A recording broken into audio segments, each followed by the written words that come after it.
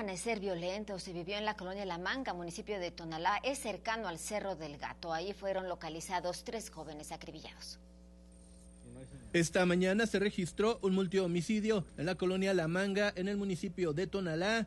Tres jóvenes, siendo dos hombres y una mujer, fueron encontrados sin vida entre matorrales en la calle Zapote y Durazno. Los cuerpos fueron descubiertos en la mañana por oficiales de la comisaría de Tlaquepaque, quienes solicitaron la presencia de paramédicos para confirmar el fallecimiento de las víctimas.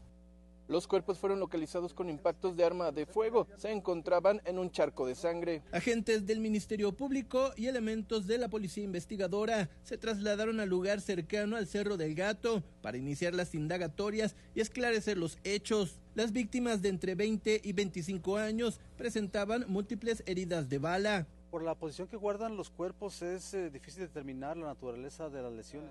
En lo personal, servidor nada más apreció uno, ya sería eh, tarea del Instituto de Ciencias Forenses determinar el número de, y naturaleza de los indicios. Peritos en criminalística del Instituto Jalisciense de Ciencias Forenses también acudieron al lugar para procesar la escena del crimen y levantar los cuerpos. Hasta el momento, ninguna de las víctimas ha sido identificada y no se cuenta con testigos que puedan aportar información sobre lo sucedido. La Fiscalía del Estado llevará a cabo la investigación bajo los protocolos establecidos y pertinentes con el objetivo de identificar y capturar a los responsables de este triple homicidio, informó para imagen Alberto Mariscal.